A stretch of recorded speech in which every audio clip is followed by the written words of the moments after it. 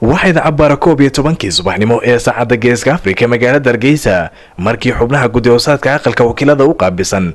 Ilaalinta hantida qaranka iyo sidoo kale dabagalka musuq maasuqa ay u yeedheen xubnaha komishanka doorashooyinka si xog waran uga dhageystaan howlaha qaran ee u qaabisan yihiin shacbiga reer somalilan.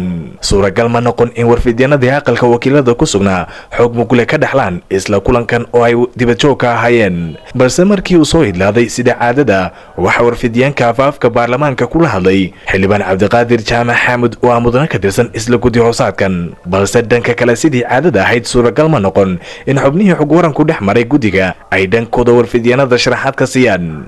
Gudoomiyaha komishanka doorashooyinka somalilan cabdiqaadir iimaan warsame iyo xubnihii kale komishineerada ahaa ee welinayay waxay si cad ugu gacan saydheen in warfidyaanada ay sharaxaad ka siiyaan isla kulankan. Iyo arrimo muhiima oo la xidhiidha qaybinta kaararka codbixinta doorashada oo komishanku gacanta xilligan ku hayaan laguna wado in dabayaaqada isla ciidan foodeen ugu soo haysa ay ka bilaabanto magaalada burco iyo deegaanada gobolka togdheer oo xilligan dhanka kale ay weeshadeen.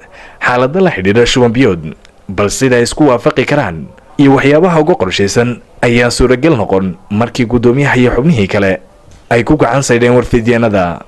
Waxaa intaa kadib warfidyaanka la hadlay xildhibaan cabdiqaadir jaamac xaamud runtii maanta wax komishanka noo yimi qayb weliba komishanka ka mid a bay ahayd. Horaanu u wada hadalnay war baa noo socday. Dhammaystirun bay ahayd maanta. Markaanu dhammaystirana oo warkii oo dhammaystiran oo faahfaahsan guddidu sideedaba warkaoo dhammaystiran oo faahfaahsan goloweynuhu markuu la furo ayay goloweynaha ka jeedinaysaa. Halkaasaa markaa ka qaadanaysaa barnaamijka. Gudoomiyaha.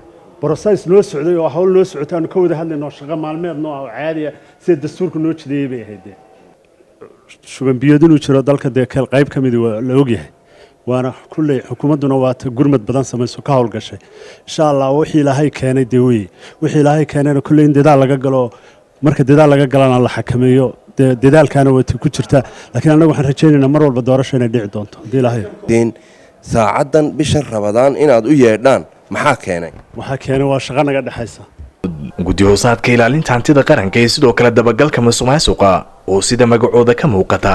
Inta badan u xidhiisaaran dabagalka arrimaha la xidhiidha musuq maasuqa ayaan ilaa hadda caddayn. Sababta kaliftay in xilligan ay komishanka doorashooyinka u yeedhaan. Oo faysal maxamed aadan faysal fifa t v-ga caalamiga ee somaali cable magaalada hargeysa